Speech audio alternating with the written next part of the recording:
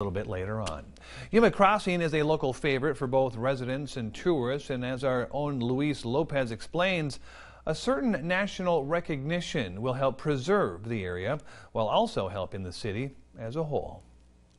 As one of 55 national heritage areas throughout the country, the Yuma Crossing National Heritage Area, which features the Colorado River Park and Territorial Prison Museum, are trying to maintain what they have and help the city grow along with it.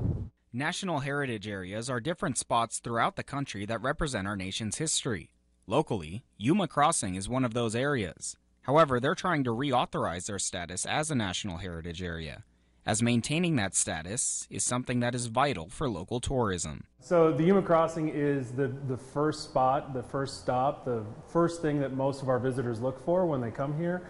Uh, attractions are obviously super important to uh, the visitor economy, and uh, being able to stop at uh, either the prison or at the Colorado River uh, Park are both incredible assets for the community, and they are imperative to tourism here.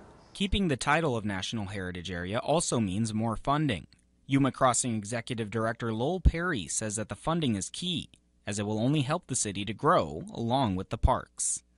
You know, there's no reason that Yuma has to continue to be a, a, gas stop between Phoenix and San Diego. We are really a legitimate historic destination. Uh, if Williams can do it, if Tombstone can do it, we certainly have uh, a longer and richer history than uh, both of those cities, not taking anything away from them.